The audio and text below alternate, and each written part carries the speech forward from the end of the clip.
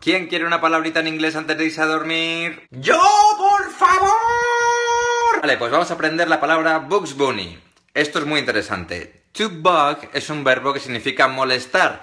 ¿Y qué es lo que hace Bugs Bunny todo el tiempo? He's always bugging Elmer. Siempre está molestando a Elmer. ¿Vale? To bug, molestar. Pero a bug también significa un bicho.